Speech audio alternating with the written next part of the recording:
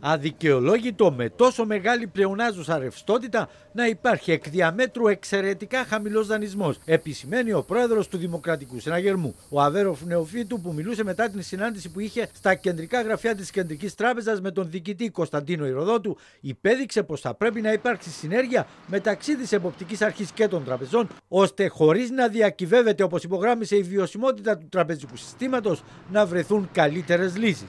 Τα επίπεδα δανεισμού πάρα πάρα πολύ χαμηλά και την ίδια ώρα η πλεονάζουσα ρευστότητα στο τραπεζικό σύστημα μπορεί να εγγύζει σήμερα μεταξύ 13 και 15 δισεκατομμυρίων ευρώ.